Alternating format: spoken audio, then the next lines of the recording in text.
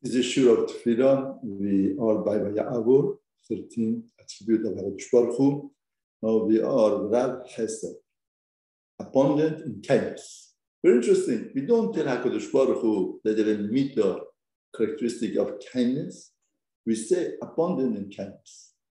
Now, why do we say abundant in kindness? Why do we say kindness by itself? Because kindness for Hashem is very cheap. But He created us, give us parnasa, and Zohar HaKadosh says, even at the time that the person sins, he gives him power. Because we say in the davening every day, Baruch Hu renews the Maaseh Bereshit, the creation of Bereshit, every minute, every second. Therefore, imagine somebody is coming to, against you to do something, and you have a power to destroy him, to collapse him. You gave him power. You, know, you push the button, you stop him. what? I let him come against me? Chutzpah. What type of attitude is that? How could you come against me? But our Baruch Hu is not just kindness, it's abundant of kindness. He gives us power, he gives us energy at that time. The Lashon Hara that we say at the time that we say Lashon Hara, Hashem could push a button, makes a person mute, that you should not talk. At the time that the person steals, that's something wrong. Baruch Hu could push a button, abundant of kindness. Allah Baruch is kind, abundant of kindness. Now, as we explained, when we learn about Ya'avor, just verbalizing some word.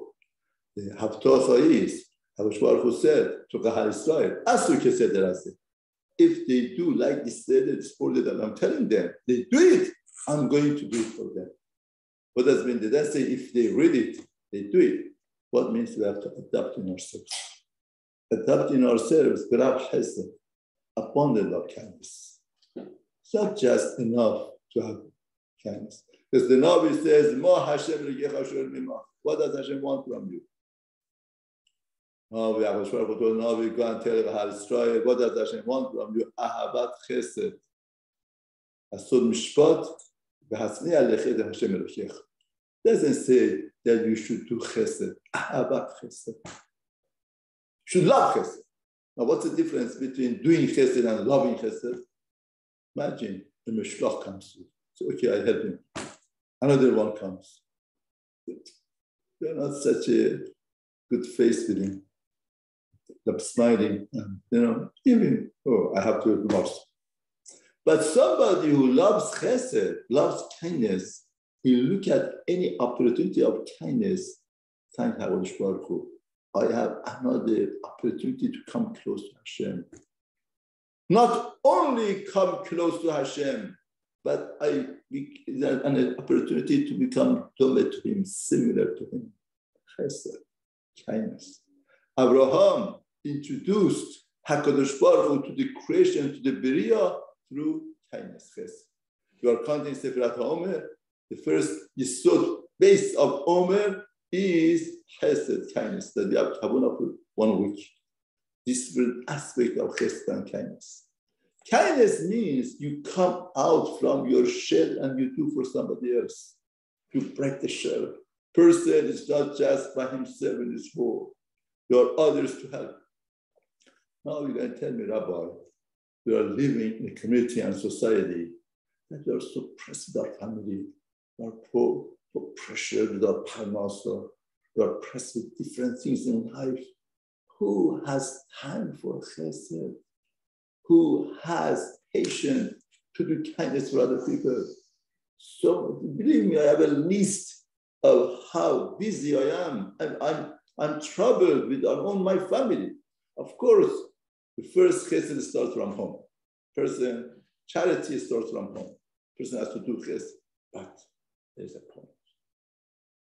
When a person does chesed it's not doing chesed, it adds you, add troubles and add you disturbance of life. Chesed means your neshama would spread out. You go out of yourself. And once you do chesed, you diminish your pressure of your life. You feel good about yourself. You feel about all of these pressures and everything. Because doing an act of chesed you're going to become Domeh to HaKadosh Baruch Hu, similar to Hashem. And that becoming similar to Hashem makes you to be a different person. Do you know why? Because HaKadosh Baruch Hu put his spirit in you because you're going to come dumb to him. That's the opposite. This time of turbulence, this time of full of pressure, full of suffering. Person goes out of himself and does chesed and kindness to other people, push himself. That spreads out neshama. Neshama connects to HaKadosh relieves him, and makes him better stand in life. Feel good about yourself. Feel good about life. Feel good about everything. And that is what Avraham Avinu is introducing. That's Judaism. Even though that we have so many pressures, so many things, but still we come out from our shell and do chesed. When we come out of our shell and do chesed, we see all of these problems are problems of the shell. Once you come out, perspective is much different. You are not the load, that unbearable load that's very heavy for you to carry. Why? Because you're on the shell. Once you come out of the shell, the perspective of life is different. Why? Because you're a similar type of Baruch You see life different. The direction of life is different. Imagine somebody is in darkness, that what he sees in darkness and darkness, they take him out from the cave of darkness, they change sun, moon, light, becomes a different person. He connects different to the Beriah. That's why we say Rab Chesed. Not enough to do Chesed. Not enough to do more Chesed. Abundant of kindness. Why? Because we love it. It's our essence. It's our being. Because we want to be Tome Baruch And that's the purpose of our creation.